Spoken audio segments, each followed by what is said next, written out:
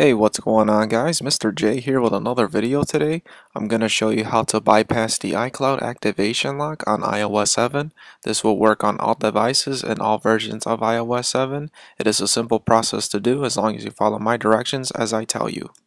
So while on the activate iPhone screen, press the next button on the screen, press OK, press the home button one time, and then press the emergency call button and then what this is going to bring up is a dial tone thing. Dial 1112 and then press the call button on your iPhone. What we're going to try and make your iPhone do is make a green bar appear on the screen.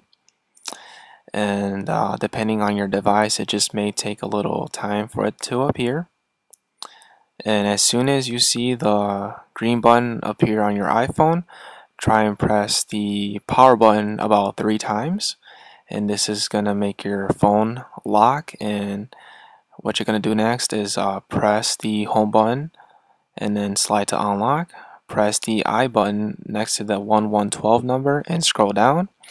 And what you're going to try and do first is initiate the voiceover uh, feature on your iPhone. You're going to press the home button about three times and while on voiceover mode you're gonna go ahead and try and press the block this caller option on your iPhone.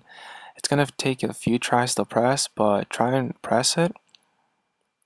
And then when you go ahead and press it try and press the block contact button a few times.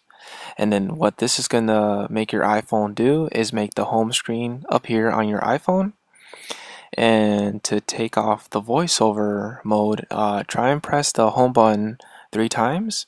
And then what this is gonna make your iPhone do is you makes you explore the other home screens on your iPhone.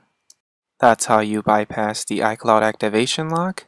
If you found this video helpful you can go ahead and like and share my video. For more videos like this feel free to subscribe to my YouTube channel. Other than that I'll see you guys in the next one